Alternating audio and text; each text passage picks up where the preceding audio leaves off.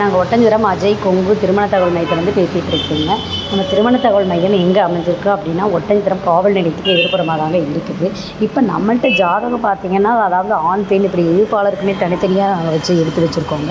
அது இல்லாமல் பார்த்தீங்க அப்படின்னா அதில் வந்து சுத்த ஜாதகம் செவ்வாய் ஜாதகம் ராவிக்கேது செவ்வாய் ராவிக்கேது இந்த மாதிரி பல வகையான ஜாதகங்கள் வந்து அவங்கவுங்களுடைய ஏஜுக்கு தகுந்த மாதிரி ஏஜ் வைஸில் ஸ்ப்ளிட் பண்ணி வச்சுருக்கோம். இப்போ நம்மள்கிட்ட இவ்வளோ ஜாதகங்கள் இருக்கையில் உங்களுக்கு தகுதியானது நீங்கள் ஆன்லைன்லேயே ரிஜிஸ்டர் பண்ணி ஓகே பண்ணிக்கலாமுங்க. இது முழுக்க முழுக்க நாங்கள் கொங்கு வெள்ளால் கவுண்டருக்கு மட்டும் தாங்க பண்ணி கொடுத்துட்ருக்கோம் வேறு எந்த கேஸ்ட்டுக்கும் அளவுடு கிடையாதுங்க இப்போ கொங்கு வெள்ளாள கவுண்டரில் நீங்கள் எந்த கூட்டத்தை சேர்ந்தவங்களா இருந்தாலும் சரி எந்த கோயிலுக்கு போகிறவங்களா இருந்தாலும் சரி கண்டிப்பாக பார்த்தீங்கன்னா அதில் உங்களுக்கு தேவையானதை நீங்கள் ஆன்லைன்லேயே எடுத்துக்கலாம். இது முழுக்க முழுக்க நாங்கள் கொங்கு வெள்ளாள கவுண்டர் மட்டும் தாங்க பார்த்துட்ருக்கோம் அப்போ பார்த்தீங்கன்னா நிறைய ஜாதகம் நம்மளுக்கு யூடியூப் பார்த்துட்டு அனுப்பிச்சி விட்டுட்ருக்குறாங்க.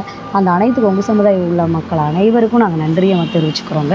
இப்போ நம்மள்கிட்ட இவ்வளோ ஜாதகம் இருக்கும்போது அதில் எப்படினாலும் நமக்கு பதிகிறவங்க நம்மள்கிட்ட கண்டிப்பாக ரெஜிஸ்டர் பண்ணிகிட்ருக்கவங்களுக்கு கண்டிப்பாக நாங்கள் ஒரு நல்ல தகவலை சொல்லிடுவோங்க நம்ம மேட்ரிமோனி மூலிமா இந்த மாதிரியே ஆன்லைனில் நிறைய சுபிட்சமான கல்யாணங்கள் வந்து நாங்கள் நடத்தி வச்சுக்கிட்டு தான் இருக்கோம். இப்போ ரீசெண்டாக பார்த்தீங்கன்னா கூட கரூரில் கூட நிறைய ரெண்டு மேரேஜ் வந்து ஃபிக்ஸ் ஆகிருக்காங்க அவங்களும் ஆன்லைன்லேயே ரிஜிஸ்டர் பண்ணி அவங்களுடைய ஜ ஃபோன் நம்பர் காண்டாக்ட் நம்பர் எடுத்து அவங்களே கூப்பிட்டு பேசி அவங்களே சுபிட்சமாக முடிச்சுக்கிட்டாங்க.